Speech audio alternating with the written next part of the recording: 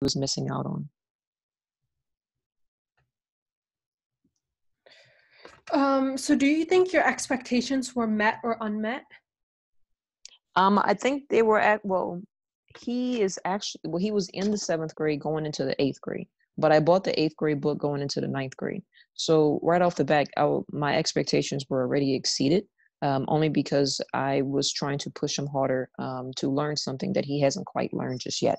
So each week, well, each day um, that we went through the book, uh, I would allow him to um, look up the answers to an extent. Of course, not the answers in the back of the book, um, but just to see how the process uh, flows. And then I would give him the book, and then he we, he would um, have to answer it each day on his own.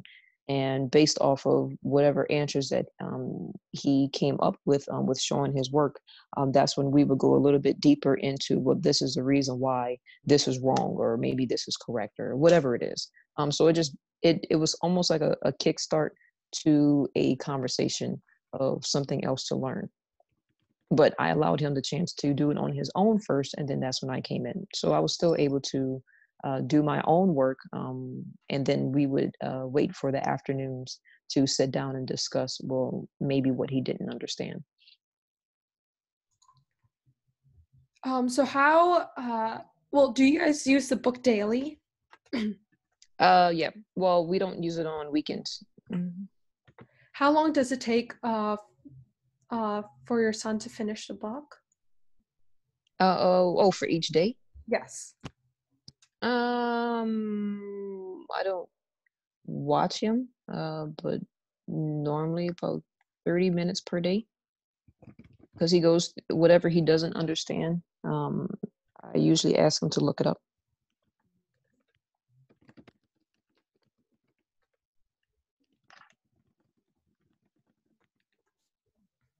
So have you guys looked at uh, some of the fun activities at the back of every at the end of every week? Fun activities? No, I don't yes. think so I knew about that. Well, did you purchase In a book? 2020 book? No, I didn't.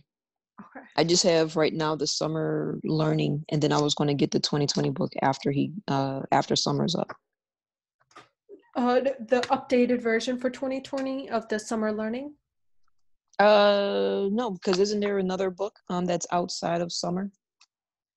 Yes, um, but for so every year we kind of come out with a new updated version of the summer learning book, summer learning oh. Head Start workbook. Oh well, yeah. As soon as he's finished with this one, we'll move on to the next one. Uh, so I was curious if you got the 2019 or 2020 version of this book. Um, I have the 2019 book. Well, it says updated for 2019. yeah. Okay. And okay. Um,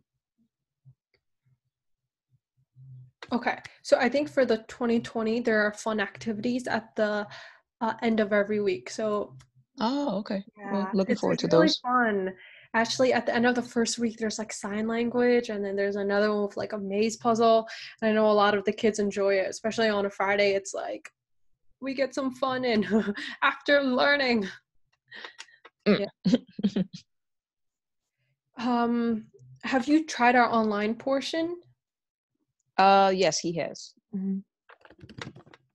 how do you like it or you and or your son uh, he said that it was kind of like a, a reiteration of what's inside of the book. Um, it was just extra extra questions. Uh, so I was like, oh, okay. So normally I didn't ask him to do that, but he did do it. He did the the reading portion mostly. Um, he was fine with math, um, but he prefers to actually write it down. Uh, so we focus more on the reading um, aspect of it. Hmm.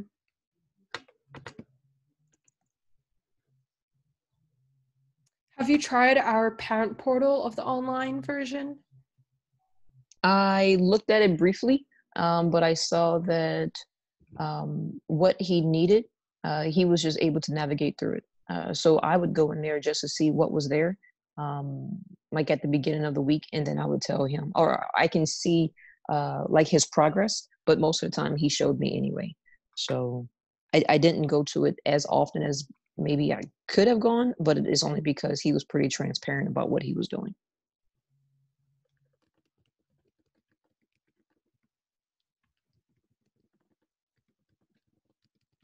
Um, so what do you like or don't, and what would you like to see changed or improved, whether maybe on our workbook or online?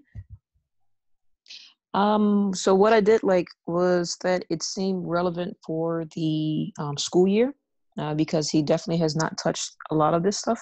Um, but some of the stuff he did, so it was just good to see that it was stuff that was relevant to right now, uh, and and preparing him for what he will be seeing in the future. Um, one thing that maybe I, I would like to see is maybe a little bit more content and not just going directly to the uh, question portion. I mean, just having all practice tests in there, maybe just a little bit more content. That would be nice. Uh, no, I want to say that might be it. Uh, what would you mean yeah. by content? Uh, just maybe like a brief overview of what they're they're discussing before they actually get into the subject, like slopes. I'm just uh, it's only because I went to that page. Uh, but like as far as like slopes or whatever, just maybe give like a brief overview, like well, this is what slopes are. Maybe a, a page of of um what they are, like talking about the x axis. I mean, axis and the y, and things like that. Was like just really just a brief overview. And it's mostly for math, not necessarily for English, uh, but mostly for math, just to give a brief overview of mm. um, what lesson is coming up next. And not just going straight to, because just looking at it goes like day seven, uh, and then it has like the questions, and then it goes straight to day eight, and then it changes the subject. Mm. Like it could be going, it could be talking about um, like whole numbers and expressions, irrational numbers, and then it goes straight into slopes and then it goes into solving linear uh, equations so there really wasn't a, a transition um, in the workbook at least mm-hmm. That is really good information. We're definitely going to uh, discuss and reflect on. Um, and what would you say about your overall experience uh, with Lumos? Uh, I felt it was good, uh, especially for the price. Um, I definitely think it was worth it. So um, I'll definitely stick with it. I've used something, I don't remember who they were. It was like a green book. I don't know, but I've used them previously and it wasn't challenging enough. So I think this was uh, a good place to um, at least start right now with his age group. Um, I think this is good. Uh, what uh, exactly would be a good like price range for you? Mm, for the book? Yes. Or uh, or just for a regular summer workbook? Uh, ten dollars. Ten, no more than twenty. Definitely no more than twenty.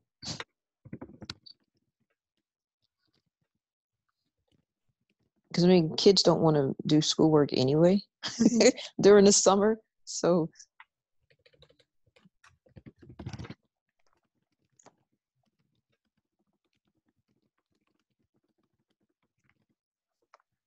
Well, thank you so much. Um, this is kind of most of the questions that I, have had. Um, it was great working with you um, and just hearing um, your perspective, really, and how uh, us as Lumos Learning can continue to work and provide and just the resources uh, for parents and uh, kids